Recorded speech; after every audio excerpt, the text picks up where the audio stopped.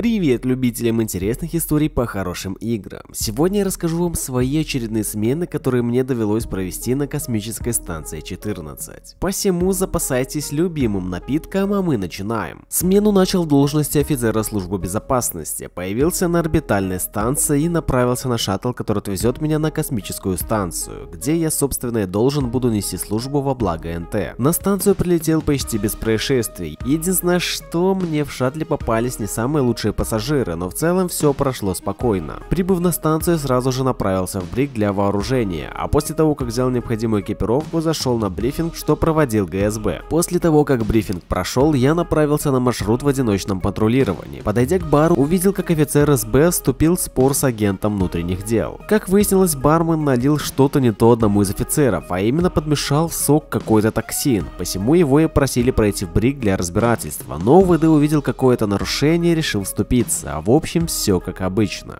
Вечные споры между ОВД и СБ. Но все закончилось миром и сотрудники совместно с ОВД повели бармена в Бриг. А когда я туда пошел, то увидел, как у Брига атмосферный техник восстанавливал нам стены, ибо у нас взорвалась аномалия, которую отдел РНД не стабилизировал. О чем я, конечно же, сообщил ОВД, надеюсь, он-то с ними разберется, да и нужно же было его отвлечь от Брига. Пусть ребята спокойно занимаются своей работой. Во время патрулирования я забрел в церковь, а нам по рации как раз таки сообщили, что в комнате священника по камерам увидели много крови, посему я остался здесь ждать подкрепления. На место прибыл детектив с офицером, но так как у нас не было доступа в комнату священника, пришлось проследовать главе персонала, которому мы сообщили о случившемся и совместно направились в церковь. Вот только пока мы решали все эти бюрократические вопросы, священника могли уже сжечь в печи. Когда мы все-таки зашли в комнату священника, то на полу действительно увидели множественные следы крови. А пройдя чуть дальше, большую лужу крови мы увидели возле печи, соответственно священника кто-то мог уже сжечь, ну либо же наоборот. В общем обстановка указывала на то, что кого-то здесь точно сожгли. Еще некоторое время спустя мы обнаружили лабораторию, а также Диону, что лежала на лабораторном столе, которую я привел в Брик и позвал детектива для разбирательства. В ходе общения с Дионой она сообщила, что была похищена и последнее, что помнит, как ее усыпили в какой-то лаборатории, а также изменили голос и расу, ведь эта Диона ранее была унатхом. Короче, дело весьма запутанное и нужны лучшие умы станции, посему я передал данное дело Идиону детективу. А сам направился на поиски той самой лаборатории, и по наводке потерпевшего я ее нашел. Но кроме инструментов и чистых полов, в данной лаборатории ничего не было. Но было весьма странно ее наблюдать, ведь по плану станции здесь должна быть стена, но никак не лаборатория. Также пока я искал информацию о тайных врачах и подпольной лаборатории, по рации поступила инфа, что священник все же был убит. И даже было имя преступника преступника. И так как был красный код, а убийца был на свободе, я решил выборочно обыскивать подозрительных личностей, которые находились вдали от своих отделов, ведь в красный код все должны находиться именно в них. Короче, активизировал я свои поисковые навыки и стал выявлять потенциальных нарушителей. Подошел к бару и встретил там пассажира, который рассказал, что в прибытии много крови. Я прошел за ним и действительно там была целая лужа. На станции наступили смутные времена, убийца был на свободе, да еще и загадочные врачи. И вот эти все лужи крови. Короче, позвал я детектива, пусть займется работой. Проходя мимо библиотеки, увидел двух одинаковых людей. В прямом смысле этого слова, они были словно близнецы, с одинаковыми именами и одеждой. Но по манифесту у нас числился лишь один подобный гражданин. Короче, прижали их к стене и стали обыскивать на наличие опасных предметов. Но так как у последних ничего запрещенного не было, мы подумали, что произошла бюрократическая ошибка и отпустили их. Патрулируя станцию в Красный Код, я понял, что мне чего-то не хватает и пошел в Брик для получения оружия, ведь на станции были массовые убийства, и ни один преступник пойман еще не был. Короче, получил лектору Вардена и пошел осматривать станцию, искать преступников согласно полученной ориентировке. Подумал, что преступников всегда тянет на место преступления и проверил еще раз подпольную лабораторию, однако там по-прежнему никого не было, поэтому пошел к главе персонала для получения расширенного доступа. После получения доступа я пошел гулять по станции, зашел к детективу дать ему КПК, который, кстати говоря, я нашел в той луже крови, что была в прибытии. КПК принадлежал ученому, посему на станции был минус один ученый. И пока мы с Деком общались, задержанный инженер начал пытаться скрыться. Думал успеть смыться в мусорку, но у него не вышло. Он был задержан благодаря слаженной работе правоохранительных органов станции. Потусовался немного с детективом и пошел в патруль. Зашел вместе со старшим инженером на мостик, но здесь все было спокойно, посему покинул его. Какое-то время я просто ходил и ничего не происходило, однако однако когда я пришел в отбытие, решил зайти в комнату охраны для зарядки специальных средств и услышал, как в техах кто-то копошится. И так как был красный код, я решил проверить, кто же там находится, а там был простой уборщик. Его действия показались мне подозрительными, и я попросил его выйти из технических помещений для дальнейшего обыска и разъяснения ситуации. Однако он отказался это сделать, тем самым нарушил прямой приказ офицера службы безопасности во время красного кода и был оглушен тайзером, а после закован в наручники. Короче, потащил его в брик для дальнейших разбирательств. Если у него с собой ничего запрещенного нет, то он ограничится лишь статьей за неподчинение. Ну и конечно же, пока я его вел, он кричал в рацию, звал на помощь и рассказывал о произволе органов власти на данной станции. Забыв при этом упомянуть, что не подчинился вполне себе законному приказу службы безопасности. Также, когда проходил медотсек, мне отдали найденный скафандр научного руководителя,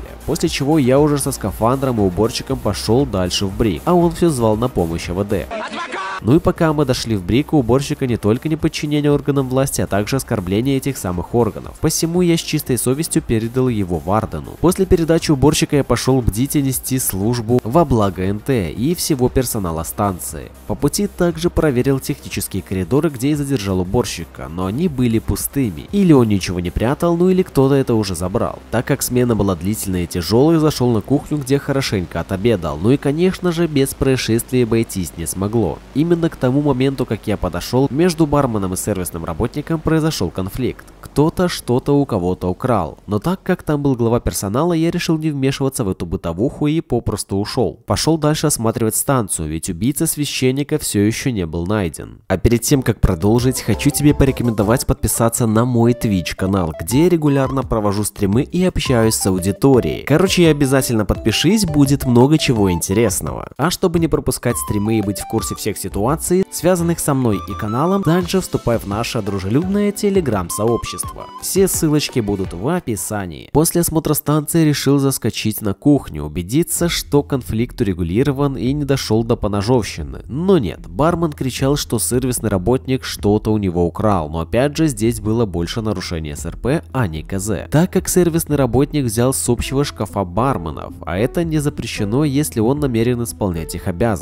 В общем, послушал я немного эти споры и пошел дальше. По возвращению в Брик увидел, как Клуня в холле сделал нам баньку, но за это только палец вверх. После того, как я вышел из Брига, направился в сторону медицинского отдела, где меня вызвал психолог и попросил помочь. Короче, у него был пациент, лежал на кровати, а после от него ничего не осталось. Он просто исчез. Это наверняка наши подпольные врачи активизировались и продолжили похищать людей. Благо детектив уже находился в меди, я передал ему информацию и покинул медотсек. Пошел дальше осматривать техи на наличие новых подпольных подпольных лабораторий. Наверняка процентов 80 всего времени я бегал по станции и патрулировал. В целом, что и должен делать сотрудник службы безопасности. Обыскал ботаника на коридорах у мостика, но ничего подозрительного и запрещенного не нашел, посему отпустил. Когда зашел в мед, меня позвал один из медицинских сотрудников и сообщил, что согласно показателям на приборах, убит один из сотрудников службы безопасности, о чем я тут же доложил ГСБ. Также уточнил у врача, где может находиться сотрудник, и она указала на технические помещения ниже библиотеки. Но оббежав практически все данные техи, труп офицера я так и не нашел. Наверняка в этом замешаны врачи подпольной организации. Из теха вышел прямиком в библиотеку, где было собрание Клуни, парамедика, ученого и врача. Поэтому не смел им мешать и покинул библиотеку. Когда шел в брик, увидел кучу разбросанного мусора, а также встретил того, кто это сделал. Сразу же применил к нему станер, так как он однажды от нас убежал. Заковал наручники и повел в брик. Закрыли уважаемого уборщика за халатность и сопротивление органам власти. Патрулируя станцию, встретил атмосферного техника, который позвал меня в технические коридоры, чтобы показать лужи крови. И действительно, в одном из частей тех коридоров была еще одна лужа крови. Но больше ничего не было, тела как будто куда-то пропадали. Сообщил об этом детективу по рации, но он почему-то мне не ответил, и я лично направился к нему в кабинет. Но он был весьма занят заполнением бумажек, одним словом бюрократ. В какой-то момент от научного отдела поступила информация, что неизвестная сущность в их отделе похитила одного из ученых, и мы направились осматривать эти помещения. Пройдя вглубь, я увидел сатанистский алтарь и лежащего на нем человека. По всей видимости, те самые врачи поклонялись какому-то богу и решили его призвать на станции. Но благо это все дело было замечено и направлены сотрудники службы безопасности. Так как мы не могли попасть внутрь к алтарю, я решил разобрать стену сзади и проникнуть внутрь таким образом. Но когда мы начали обходить помещение, то в технических коридорах увидели небольшую сингулярность, отчего я был в легком недоумении, что это и как она здесь оказалась. Но буквально через мгновение ее и след простыл, возможно мне показалось, но выглядело очень странно. Когда мы возвратились обратно в научный отдел, в том месте, где стоял алтарь и на нем был человек, было пусто, все куда-то пропало. Но спустя некоторое время я вернулся, а алтарь был на месте и с телом. Такое ощущение, что я периодически был в параллельной реальности. Но так как там был научный руководитель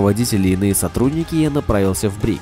Не доходя до него, мне повстречался ученый, который признался, что расчленил трех людей, а также сообщил, что он является агентом синдиката. Я сразу же его скрутил и потащил в Брик. Первоначально я, конечно же, ему не поверил и попросил доказать то, что он является агентом. На что он призвал гала-паразита, и тот стал меня атаковать. Посему мне пришлось применить летальное оружие в отношении данного ученого. Ну и после данной заварушки мне пришлось долгое время все объяснять Вардану и коллегам, так как не все успели рассмотреть появившегося гала-паразита. Так как станция по тихой грусти погружалась в хаос, капитан вызвал спасательный шаттл, а я тем временем решил проверить место с алтарем. По прибытию обнаружил, что к месту не пройти, а на месте входа образовалась стена. Внутри были слышны голоса людей, по всей видимости их там кто-то запер. А помимо голосов людей я слышал речь на непонятном языке, как будто кто-то читает заклинание, ну или что-то в этом духе. Короче, дела были плохие, нужно было бы спасти застрявших в стене. Позвал своего коллегу и мы начали пробовать снести стену, но все попытки были тщетны. Попытался подключить к данному делу инженера, но тот не смог разобрать нужную стену, разобрал соседнюю. И так как у нас совсем не оставалось времени и шаттл скоро улетает, я принял единственное верное решение побежать туда и попросить помощи у тех, кто на нем находится. Иначе людям, застрявшим в РНД, было бы не помочь. Но, увы, никто не захотел возвращаться на эту чертову станцию, да и я принял решение вернуться на ЦК, дабы доложить обо всем, что происходило на ней, а также попросить направить инженерный отряд, чтобы достать из запертого помещения сотрудников станции. Как-то так и прошла моя смена в роли офицера службы безопасности. А следующую смену смену я работал грузчиком, обеспечивал станцию деньгами и вовремя разносил заказанные товары по отделам. Первым делом я обошел технические помещения и все, что криво лежало, отнес на шаттл для продажи. После чего квартирмейстер отправил меня к Атмосам, попросил, чтобы они занялись варкой фрезона, который можно было продать по круглой сумме, что я собственно и сделал, а после продолжил таскать из теха все, что там было, таким образом зарабатывая деньги для станции. И так как нам сварили фрезон, денег в отделе карго было более чем достаточно. Посему я просто слонялся по станции, посещал бар, занимался своими делами и изредка доставлял заказанный груз какой-либо из отделов. Одним словом, делать было нечего. Фризон, конечно, хорошая вещь, но не тогда, когда ты на грузчике, ведь в тот момент, когда Атмосы принесли фризон, моя работа перестала иметь хоть какой-то смысл,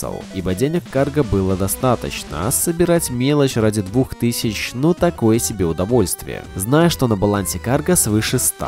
Подошел я к медотсеку и услышал разговор капитана и главы персонала, где капитан сказал, что планирует вызвать УБР, ибо священник в соляру положил его и ГСБ. Но благо его задержали, а капитана откачали. Немного посидел в баре и услышал по рации, что в церкви что-то намечается, посему я туда и пошел. Прибыв в церковь, я понял, что у нас на станции образовался культ. Но вот что делать никто не знал. Сотрудники службы безопасности попросту стояли и беседовали со священником. То ли боялись, то ли не могли его арестовать а в церкви людей становилось все больше и больше. Самое время, чтобы принести Богу массовое жертвоприношение. Когда один из офицеров попытался арестовать святошу, он тут же загорелся пламенем, но благо в церкви был прошаренный Атмос в пожарном костюме и с огнетушителем. В общем, долго это все продолжалось. Офицеры, что пытались дотронуться до священника, подвергались подвергались священному огню, а также укусам трехглавого Цербера. И когда офицеры СБ начали сильно настаивать священника пройти в Брик, то рядом с ними появилась аномалия плоти, и это был знак, что нужно отсюда проваливать, пока ноги на месте. Оказалось, что если глава службы безопасности повторит молитву за священника, то он отпустит эту станцию, более никаких жертв не будет. Долго же ГСБ ломался, не желая идти на поводу Святоши, но все же пришлось вместе с ним помолиться и повторить все, что он говорит. Данная процедура длилась порядка 15 минут, а я тем временем наблюдал данную картину чуть дальше, мало ли произойдет что-нибудь плохое. В общем, дочитал ГСБ молитву совместно со священником и все улетучилось. Священник перестал пытаться призвать зло на станцию. С одной стороны это хорошо, но вот с другой, возможно, своей молитвой ГСБ призовет более могущественное и опасное существо. Но это, как говорится, поживем увидим. Ну а я после всего, что увидел, посетил бар, опрокинул пару стопок, а в отделе карго тем временем была куча воды и еды. Видимо, стало некуда девать деньги, и КМ решил нас побаловать. Также в это время в отбытии капитаны сотрудники службы безопасности встречали представителя центрального командования, который вскоре прибыл со своей свитой, а нас, простых работяг, прогнали, сказали, мол, нечего глазеть. А еще спустя некоторое время по рации сообщили, что на станции разлом, карпы и дракон. Вот к чему привела молитва ГСБ вместе со священником, его проделки не иначе. Станция потиху наполнялась хаосом, увидел труп ученого на коридоре и затащил его в медотсек. Правда не уверен, что ему уже кто-нибудь поможет. А сам тем временем возвратился в карго, так как М заказал оружие и объявил охоту на карпов и дракона. В медотсеке был раскол и там появлялись новые карпы, один из которых меня покусал и я пошел прочь от меда. Но не успел далеко уйти и потерял сознание. Однако мне помогли и откачали меня, после чего я пошел в карго и дожидался пока прибудет заказанное квартирмейстером оружие. Долго ждать не пришлось, коллеги подсуетили мне скафандр утилизатора и мы проследовали на шаттл вооружаться. Я взял с собой автомат и несколько магазинов. И всей карго-бригадой мы пошли на охоту. Потихоньку проходили все коридоры и держались вместе. Я вам больше скажу, на этой смене мы работали слаженно, шли друг за другом и прикрывали спины. В общем, каргония в рассвете сил. Дошли до РНД и я встретил своего первого карпа, которого накормил свинцом. Не успел он до меня и добраться. Зашли в РНД и начали его обследовать. Было море крови, но ни одной живой души, ни одного карпа, а уж тем более дракона. В церкви прибытии также никого не было. В общем, прошли всю станцию, все опасные места, где был разлом, но кроме одного карпа, что я убил, никого не обнаружили. Были мы, значит, рядом с главой персонала увидели, как один из наших утилизаторов тащит мертвого дракона. По всей видимости, он его и убил. Вот что значит каргония. И так как угроза карпов до конца не миновала, я некоторое время продолжал осматривать станцию, но, увы, никого так и не нашел и возвратился в отдел, где спустя короткий промежуток времени мы сели на шаттл и улетели на ЦК. Так и закончилась моя смена в роли грузчика, где мы видели рассвет Каргонии, но так и не реализовали весь потенциал нашей боевой мощи. Что ж, расскажу, пожалуй, вам еще одну историю, где я был в качестве ученого и занимался поиском аномалий. Смена проходила в штатном режиме, и я со специальным прибором ходил по станции и искал созданные аномалии. И вдруг мне поступила информация, что одна из аномалий находится в технических коридорах, чуть севернее научного отдела, и я сразу направился туда. Увидев аномалию, я понял, что она растет, и ее нужно было срочно остановить. Однако я не мог к ней нормально подойти, она слишком часто выпускала молнии, которые сваливали меня на землю и наносили урон. Короче, я не мог ее даже изучить, не то чтобы начать уничтожать. К месту аномалии подоспели и другие ученые, так как дело в буквальном смысле пахло жареным. Ну и в какой-то момент аномалия выдала огромный заряд тока, и я впал в критическое состояние. А мой коллега потащил меня в медицинский отсек, где меня благополучно откачали и подлечили. Слава нашим докторам. Ну и после лечения я снова пошел к аномалии, ее нужно было уничтожить, пока она не взорвалась. Иначе может принести огромный урон станции и вызвать разгерметизацию. Но как я ни старался, изучить ее у меня не получалось. Она слишком часто выпускала молнии. Подлечился я немного и пошел снова к аномалии, однако подойти к ней в этот раз также не удалось из-за появившегося там огромного паука, о чем я сообщил по рации, был введен красный код.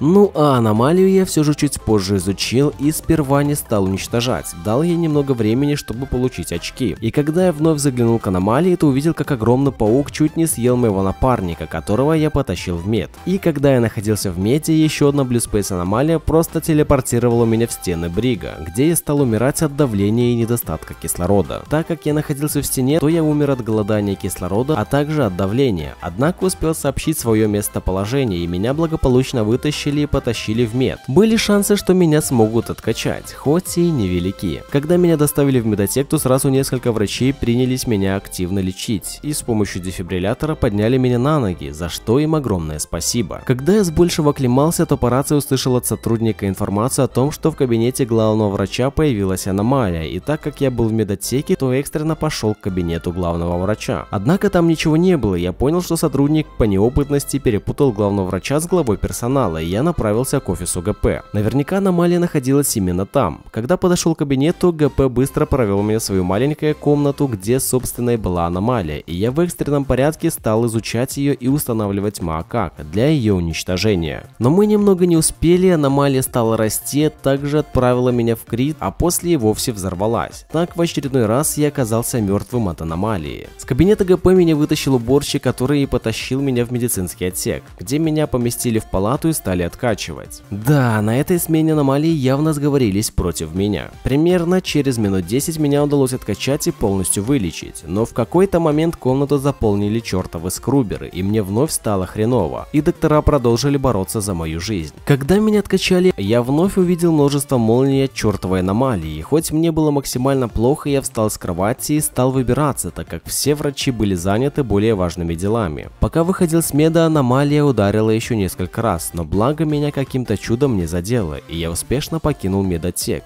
хоть и в предкритическом состоянии. Но так как мне было уже очень плохо, я вернулся в холл медотека и стал искать лекарства, но мое тело не выдержало нагрузки, и я вновь оказался в критическом состоянии. А меня снова начали откачивать врачи, а также все, кто находился в этот момент в холле. Откачать-то меня откачали, но произошел взрыв аномалии, и почти все упали от молний, а также выбило всю электронику. Благо меня в этот раз не сильно задело. Когда все устаканилось, я приступил к своей работе и вновь обнаружил аномалию излучающую излучающую молнии. Но в этот раз нам с легкостью удалось ее уничтожить. Сегодня прям день электрических аномалий. Уже четвертая на этой смене. И пока я ходил по станции и искал аномалии, нам объявили о том, что на станции появились зомби. Всем указали проследовать на шаттл службы безопасности для благополучной эвакуации. В коридоре меня встретил офицер СБ и попросил проследовать за ним на шаттл, что я собственно и сделал, ибо не хотел, чтобы мной полакомились зомби. Через технические коридоры мы вышли в брик, где благополучно добрались до шаттла шаттла. Я на всякий случай попросил скафандр, мало ли придется по космосу дрейфовать. Но как только мы тронулись, на шаттл забежала мышь и начала всех кусать. Она явно была заражена зомби-вирусом, и теперь нужно будет смотреть в оба, так как кто-нибудь может заразиться. То, собственно, и произошло, и в этот момент я покинул шаттл и стал пробовать добираться до станции обратно. Выкидывал предметы, чтобы в космическом пространстве добраться до станции. Хвоста из зомби за мной вроде бы не было. Как подлетел к станции, начал пробираться к отбытию, надежде, что туда прибудет спасательный шаттл. Через окно в пляжной комнате увидел того самого уборщика, что когда-то спас меня, отнеся в мед. Пообщавшись с ним, я узнал, что практически весь экипаж превратился в зомби и нужно с этой станции делать ноги. Я сообщил ему, чтобы он продвигался в северном направлении к Эваку, а также чтобы нашел себе скафандр. Поднявшись чуть севернее станции, я зашел на нее и встретился с уборщиком. Дальше мы аккуратно пробирались к отбытию. Так как мы немного нашумели разговорами, нас услышал зомби, но у уборщика был был с собой лазерный карабин, и он с ним с легкостью разобрался. Мы через космос продвигались все дальше к отбытию. Зайдя на станцию, начали обсуждать наши планы, как действовать дальше. В какой-то момент через космос к нам залетел парамедик, и того нас было трое выживших. Также мы услышали объявление о том, что на станцию был вызван специальный отряд для уничтожения зомби, посему нам оставалось их дождаться и пройти к их шаттлу для эвакуации.